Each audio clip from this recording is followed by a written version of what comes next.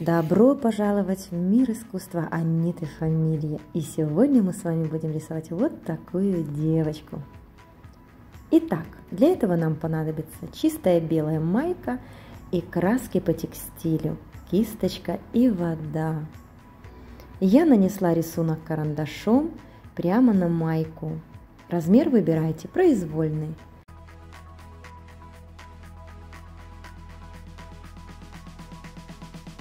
Я беру бежево-желтую краску и начинаю раскрашивать лицо нашей девочки. Я использую кисточки Белка номер 8. Мне нравятся эти кисточки тем, что они очень эластичные и вбирают в себя больше всего краски.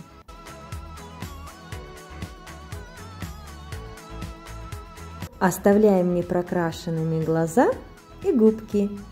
Все остальное закрашиваем бежевой краской. Теперь коснемся шеи. Я прорисовываю намек на тень бежевым и беру коричнево-бежевый.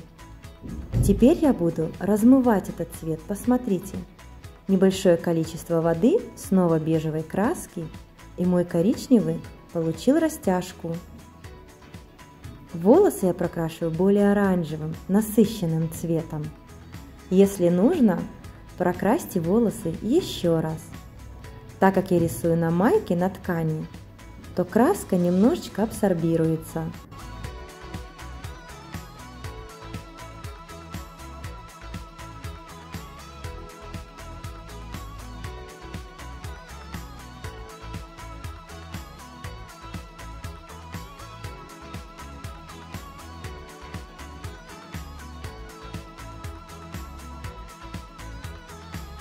Так как рисунок доходит у нас не до конца майки, размываем края рисуночка плавной кисточкой, как будто он исчезает. Посмотрите внимательно, в волосах у этой девочки есть темные пятна рисунки. Их мы закрашиваем более темной коричневой краской. Старайтесь, чтобы края волос и этого рисунка совпали, и казалось, что это всего лишь блик на ее волосах.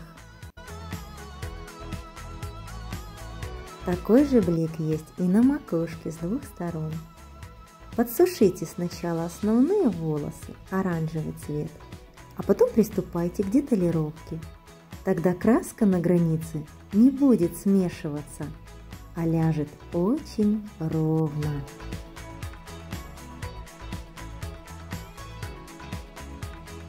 Тем же темно-коричневым цветом прокрашиваем теневую сторону волос. Тогда будет казаться, что наша девочка нарисована в стиле 3D.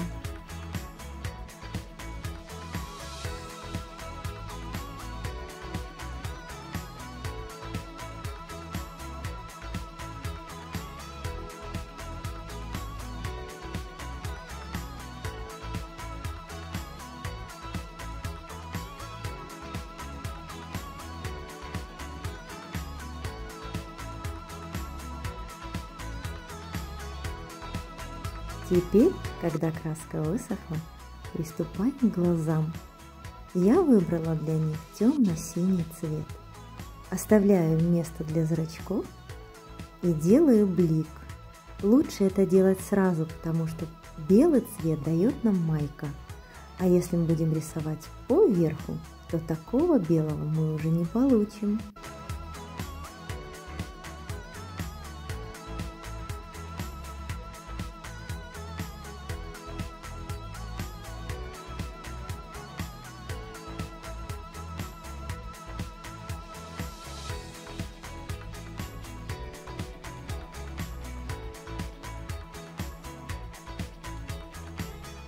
Носик нарисуем очень просто.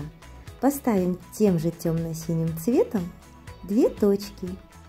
Не набирайте на кисточку много краски, тогда она не будет течь и будет рисовать, словно у вас в руках фломастер или карандаш. Обводим глазки по контуру, используем для этого черную краску –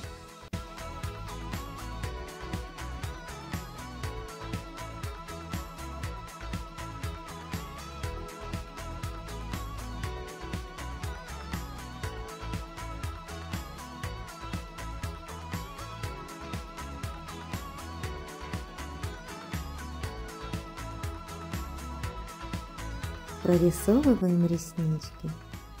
Смотрите, у меня довольно толстая кисточка, но я не боюсь ей рисовать тонкие линии, потому что у меня не так много краски на кисточке. Возьмем краску нежно-алого цвета. Я использую фломастер. Прорисуем губки. Рисуйте сначала по контуру, а потом сделайте наполнение. Таким же цветом я прорисую ее кофточку. Сначала я прорисую воротничок. Когда краска высохла, маркером работать по ткани одно удовольствие. Краска не растекается.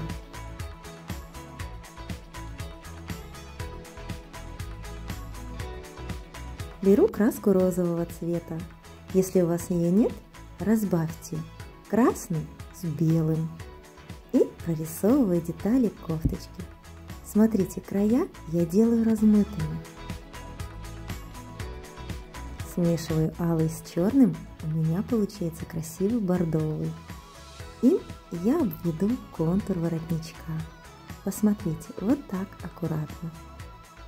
Если вы не можете пользоваться толстой кисточкой, возьмите кисточку потоньше, номер один или два. Тем же цветом обведем и губки. Тогда они будут смотреться очень выразительно. Обводим краской по контуру. Смотрите, у меня на кисточке совсем немного краски. Тогда я работаю ею словно бы фломастером.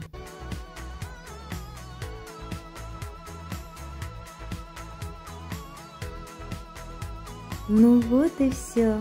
Немножечко штришков по высохшим волосам, и ваша девочка готова. А я желаю вам хорошей носки и до встречи на следующих уроках.